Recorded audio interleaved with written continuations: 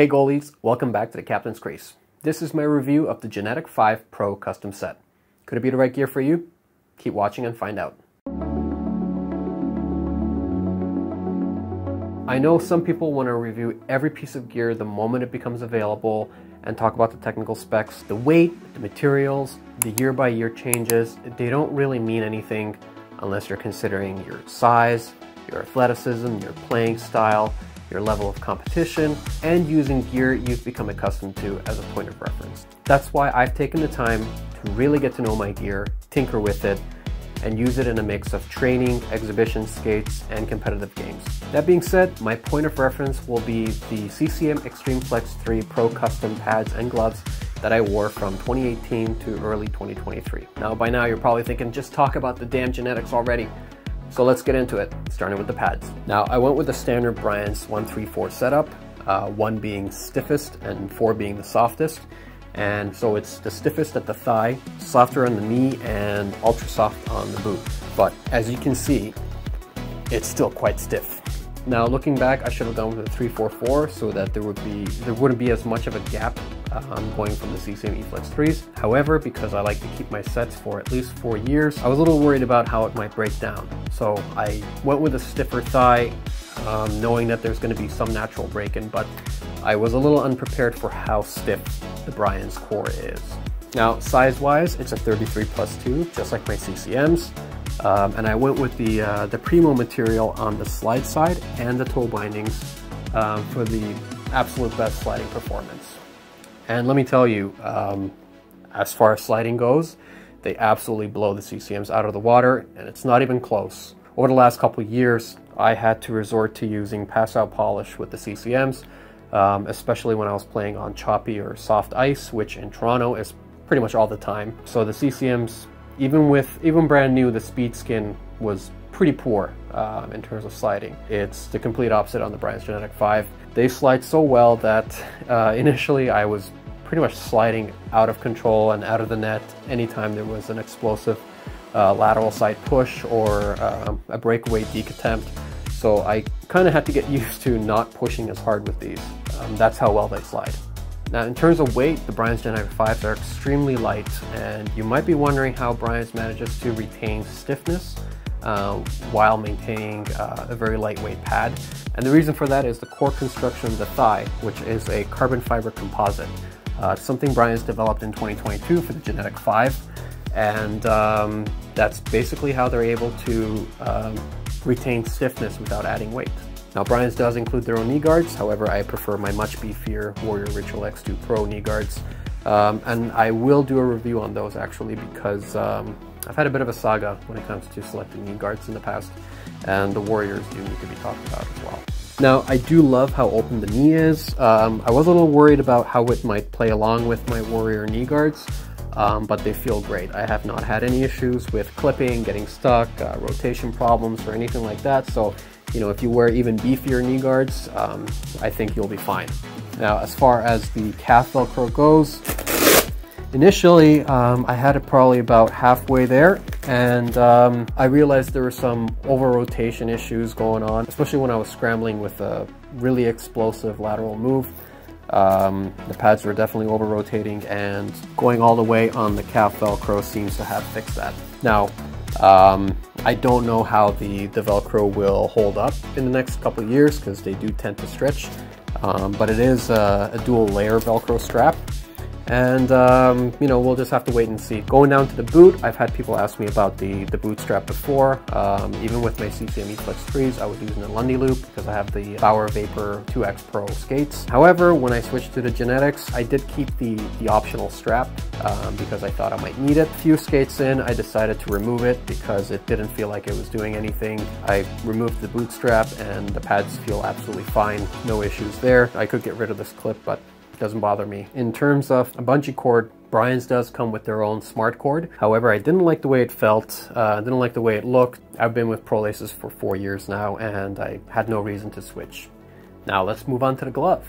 Now, comparing it to the Flex 3, you're going to notice the biggest change um, with the GNETIK is that I went with the double T pocket. Now, I find absolutely no difference in the catching feel and performance going from a single T to a double T. I think it's all down to preference. Now, I find what does make a difference is skate lace on the pocket uh, versus nylon. I find it's a little bit more forgiving, it's a little bit more flexible, so it tends to absorb the puck better. I also think skate lace just looks better.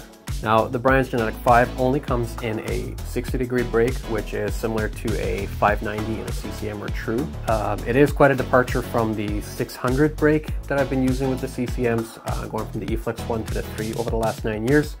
Um, you might be asking why on earth would I change now? Um, and the reason for that actually is about 12 years ago, I had a Vaughn Vision 9580 Pro glove and that was basically a 590 as well and it was probably the best catching glove I've ever owned. The build quality of the Vaughn 9580 was absolute crap. In terms of performance, it was unreal. And I thought maybe I could capture a little bit of that magic by going back to a 590 on the GNETIK 5. Now I gotta be honest, historically I've always been really good at high glove. Um, however, I've noticed that um, when I first started out, I had a very aggressive fingers up uh, catching position with my stance. Basically had the glove up above my shoulder, really far out, and I think that contributed to uh, catching really well with the 9580 and then later on with the eFlex 1. The stronger I became technically, I noticed the more I started to drop my glove. I kind of went down to the, the hip position with the glove, similar to the way Frederik Andersen plays. Now, the problem with that is that Frederik Andersen is six foot four and I'm five foot nine, so I can't really afford to be dropping my glove. If anything, I need to start adapting more a Juuse Saros stance. He's got that glove pretty far out in front of him and quite high um, due to his height, obviously. Um, but he's you know one of the best goalies in the world, especially when it comes to catching. So there's definitely some truth there. Anytime you make such drastic changes with your gear, um, obviously there's going to be some getting used to. Like I said, that's just something I need to work on to kind of get my glove back up to where it used to be. Now in terms of the Pro Palm, uh, it's pretty beefy compared to the eFlex 1. Obviously it's a lot more, a lot more protective, but the eFlex 3 Pro Palm, it is reinforced with D3O. So I would say that kind of gives them the edge over uh, the Brian's GNETIK 5. Brian's GNETIK 5, no, no issues with the palm. And obviously the glove opens and closes really well. Um, even coming out of the factory. If I remember correctly, Brian's has a machine at the factory that opens and closes every glove, I think 10,000 times or so. Um, so that's pretty significant. Coming out of the box, um, they're pretty much ready to go, which is just amazing. I'm sure everyone agrees that less break-in time, especially with gloves, is always appreciated. Now, the one thing I'm not a big fan of is the boa strapping. So a lot of the, um, the Brian's users that I talked to, they said that the boa strapping is a game changer. Uh, unfortunately, I don't really feel the same way. Um, I find if you're going to adjust it every time you're putting the gloves on, well, basically you need to put your blocker hand on first, tighten it up, um, put the glove hand on, and then use the blocker to tighten it up. Um, and I find it's a bit of a hassle, especially because I sometimes have to take my hand out of the glove more than more so than other goalies uh, in order to fix my camera, for example, um, check my mic, um, stuff like that. So I've basically had it dialed into a setting where I don't need to adjust it um, to get the glove on and off my hand, um, but it is a bit stiff getting it in. I think I would rather go back to the, the old school strapping method that I had on the CCM Flex 3s. Um, yeah, uh, the boa strapping is just not for me, I guess. Now, switching over to the blocker, um, I actually had quite a bit of pain and pressure uh, between the thumb and the index finger when gripping my stick. Thankfully, it went away after about two or three weeks of um, just playing and breaking it in. In terms of protection on the fingers, um, I have to give the advantage back to CCM on that as well because CCM does reinforce the tip of their fingers with D3O. And I find it does make quite a bit of a difference. Um, those situations where um, you might be going paddle down or kind of scrambling with the stick in your hand and getting the, the top of the finger caught between the stick and the ice and having it crush between those two. Or, you know, the same thing with the post, for example, or, or pretty much anyone crashing into you. I do wish Brian's would kind of follow what CCM has done. Obviously, they can't use D3O because of the licensing. Comparing to the CCM eFlex 3, Um, I think the, the finger stalls are a bit more protected, especially with the curved finger protection. And again, that D3O on top of the index finger makes a huge difference. Never had any pain or any issues um, with the fingers on the blocker of the, the Flex 3, whereas I, I have had some situations where um, got a little bit hurt uh, wearing the GNETIK 5s, but um, thankfully nothing major, just kind of like that pinch between the ice and the stick in you know rare situations where I'm scrambling. So yeah, if Brian's is listening, um, please beef up the finger protection a little bit. That's all. Um, other than that, it's great, and the weight reduction does make a difference coming from eFlex 3s. You don't get as tired during intense training sessions. Now, I've had a lot of people ask me why I chose Brian's over CCM or True. Initially, I wasn't planning on switching from CCM, um, but when I tried out the eFlex 5s, I was really disappointed in how they felt.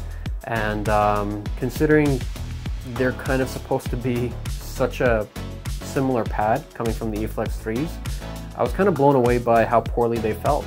Um, they just did not sit right on me, and um, you know I, I couldn't justify um, shelling out for a new custom set of a pad that I can't even get comfortable in, um, you know, demoing in the store. And unfortunately, from you know the people I've spoken to, that's part of the quality drop that they've they've experienced um, ever since Lefebvre went over to True. Now, ideally, I would have liked to wait for the eFlex 6 to see if there was any improvement, but because I was moving to Finland at the end of the year, um, waiting was not really an option. I wanted to have my new set with me. Now, I did try out the True 12.2 because it's the closest thing you can get to an eFlex, um, and it is a Lefebvre pad. However, it had been on the market for quite a while and I didn't want to wait for the next iteration, obviously. I also couldn't wrap my head around the fact that I was a 32 plus 2 in the True, um, and the pads felt okay, definitely better than the CCMs, but not in a way that, oh, you know, this is this is the pad for me. Like this, this feels great, and um, they just they just looked small. And when you're a 5'9 goalie, the last thing you want to do is downsize, um, especially if you're like me and you like to keep the same set for several years, you have to keep shrinkage in mind. Why does it shrink? It just does. Now, the question I asked myself was if I could go back in time and customize a different set, would I still go with GNETIK 5s? And the answer is yes. The GNETIK 5s were the best option for me at the time um, because, like I said, I needed a set that would be ready in time before I actually left for Finland. And that actually didn't even end up happening because it took six months to get the GNETIKs, and I was already gone by the time they, they arrived. Now, in an ideal world, I would have been able to hold off until this year and try out the Vaughn V10 Pros, but the selection of goalie gear is not as extensive in Finland, um, with the exception of Bauer and Warrior, and I would never custom order a set without being able to get my hands on them, try them out in the store, and talk through all the customization options. And speaking of that, I was really lucky to have that personal relationship with Duke Source Sports back in Toronto. I never had to worry about having the right gear thanks to them. Now, the GNETIKs 5s are excellent, don't get me wrong. Uh, the build quality is fantastic, some of the best I've seen from any goalie gear manufacturer, really. And also helps that Brian's is known for offering probably the deepest customization options, especially with graphics. However, I'm getting older uh, and my hips are getting worse, and unfortunately these pads are just a little too stiff for my personal liking. Um, if anything, I need to go with a softer pad um, that is going to be a, a bit more forgiving for my situation. Again, that's not a fault of Brian's. Um, the gear is amazing and I'm gonna continue to try to make the most of it as I can. Now, if you want a lightweight, stiff pad and you want to support a company uh, that still makes their pro gear by hand in Canada with a high degree of quality, you can't go wrong with Brian's. However, the GNETIK line has been discontinued and it's going to be replaced by the new Iconik series uh, which I believe is re releasing this November. So if you're in the market for a pad and you're interested in GNETIKs, I would personally hold off on checking out the Iconiks in person um, and getting a chance to try them on. I've also heard that they're planning to offer a 600 break glove with the new Iconik series. And that's pretty big if true because it's going to get even more CCM true 600 break users to potentially migrate over to Brian's. So that's my review of the Brian's GNETIK 5 Pro set. If you like the review, please, you know, uh, click that like button and uh, share and subscribe if you can. And um, I'm going to be doing a lot more of these gear reviews uh, coming up in the future. So, thanks for watching. I appreciate the support on the channel, and uh, see you on the ice.